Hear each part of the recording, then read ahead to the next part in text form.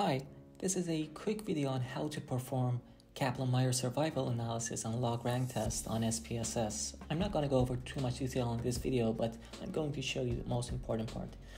Uh, first, what is Kaplan-Meier survival analysis? Well, basically, this kind of analysis is uh, performed to show the probability of survival or probability of failure at any specific time. Let's look at this uh, data set, a fake data set that I created for the purposes of this video. For Kaplan-Meier survival analysis, there are a couple of uh, variables that you need to define uh, before performing the analysis itself. You can here see that um, we have the record number, which is the patient numbers, uh, the treatment method, which is either surgery or medications, one for surgery, for example, um, two for medications. Um, all these patients were glaucoma patients and they needed a, um, a form of treatment, whether it would be surgery or medications. And we followed up the patients for duration of, let's say, three years. And at um, every follow up visit, we would um, uh, we would uh, basically consider if the treatment failed or if it was successful. So the other outcome, uh, the other variable would be outcome. Outcome would consist of either success or failure. So here I define zero as success and one for failure, and I put event, which means that I defined failure as the event. Um, and if you want to determine the, the uh, probability of success, you have to define failure as the event. And if you want to um, determine the uh, probable, probability of failure, you have to define success as the event. Um, I, I'll explain this a little bit more in a few seconds. And then you have time, which means the time um, at which the patient failed that particular treatment. And then you have um, IOP, intraocular pressures, at one year, two year, and three years. Okay, for treatment, um, you have 50 patients in here who underwent surgery and 50 patients underwent medications. There are 100 patients overall. For outcomes, uh, you either have success or failure, and as I mentioned in here, we defined failure as the event. What this means is that um, the analysis will define every patient who failed as the event, and um, all patients who were successful by the end of follow-up, um, by the end of follow-up study, or those patients who dropped out or lost to follow would be censored out of the study. So uh, we defined failure as the event and we put the number of one. Um, and the time is the time at which the patient failed. For instance, this patient failed at 24 months, or this patient failed at 6 months, so on and so forth. Uh, let me show you how we determined if the patient was successful or if it was a uh, of, or if the treatment was a failure. So in here we had three follow-up visits at 12 months, 24 months, and 36 months. Um, and for glaucoma surgeries or for uh, glaucoma medication, uh, glaucoma treatment in general, we uh, set the uh, maximum IOP target as 21, meaning that everybody who has IOP of less than 21 would be considered uh, the treatment would be considered a success and if somebody somebody has um, IOP higher than 21 the treatment would be considered a failure. So for the first patient patient was successful for all three follow-up visits so it would be success at 36 months. Second patient was um, the, the, treatment for the second patient was a failure at, at 36 months. So we put failure 36 months.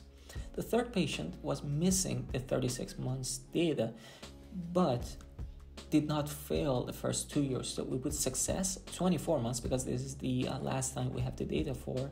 And in here, the last time we have the data for is the first year and it is a success. So we put success 12 months. If this was, for instance, 24, 24 or 25, which is a failure, we would failure 12 months. In here, you can also see that the other patients failed at 24 months and 36 months. So we put 24 uh, failure at 24 months, so on and so forth. Uh, but you need to um, define outcome variable and time variable for this analysis uh, to work. Next, um, let's do the analysis. Click on analysis, survival, Kaplan-Meier analysis, and then for time, you put the time variable that we defined, and uh, for state uh, for status, you put the outcome, and then you have to define event. As I mentioned in here, we defined failure as the event uh, in order to determine probability of success. And if you want to determine probability of failure, you have to define success as the event. So failure was the event, meaning that you you click on define event and single value. In here, failure um, failure's value was one, so we'll put one in here as the value. The factor um, we can uh, actually define a factor in here, which was the treatment. Treatment method was either surgery or medications. So if you put the um, the factor in here, um, the analysis will divide um, all patients into two groups and compare them with each other uh, patients who underwent surgery and patients who um, had medical therapy.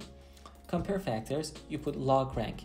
This um, analysis will compare the, the two groups the, the, group with surgery and the group without surgery. And this will um, give you a, a p value, meaning that it will um, it will de- determine if the, the difference between the two groups was significant or not. Under save, I'm not gonna save anything. And then for options, these two are ticked automatically, but you can have the survival plot, which is very important in my opinion. So you, you click on survival plot, okay, and click OK. Okay, in here, um, there is a case processing summary. We have 50 patients with surgery, 50 patients with medications, and number of events. Number of events as we defined was the number of failures. So um, 15 patients in the surgery group failed, and 33, 33 patients in the uh, medications group failed. The number of um, censored is, as I mentioned, either patients who dropped out of the study or patients who were successful by the end of surgery. And here is the survival table. The first 50 is for surgery and the next 50 is for medications. And you can see at any specific time point what the cumulative uh, proportion of surviving, meaning the probability of survival at six months is 92%.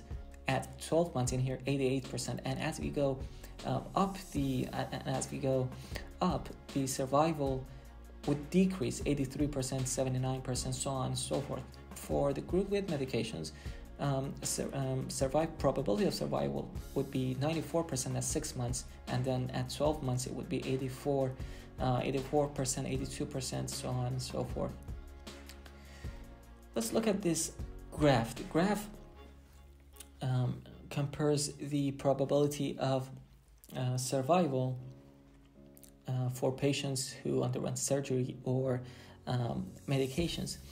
Uh, the blue line is for surgery and uh, red line is for medications.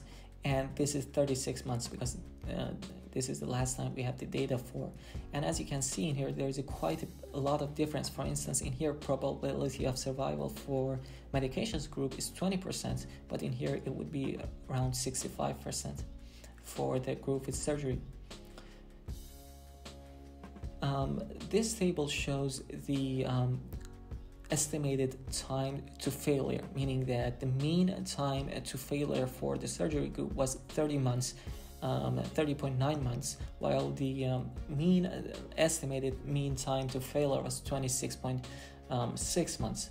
And this log rank test in here um, with uh, significance of with p-value of less than 0.001 would mean that the, the, the difference between the uh, mean estimated time between the two groups is significant and that the pro- probability of survival for the uh, medications group um, is significantly lower than the surgery group by the end of three years, uh, which is the last time that we have the uh, data for. When you cl- double click on the on the graph, you can change a, a number of things. For instance, you can um, uh, hide the grid lines you can change the color of these in here the plus values um, the um, vertical lines that you, you see in here are all the censored uh, patients meaning those who are lost uh, to follow-up or those who are successful at the end if you like the um, the tutorial, please uh, leave a like and subscribe. I'll be posting a lot more um, SPSS tutorials in the future. Thank you.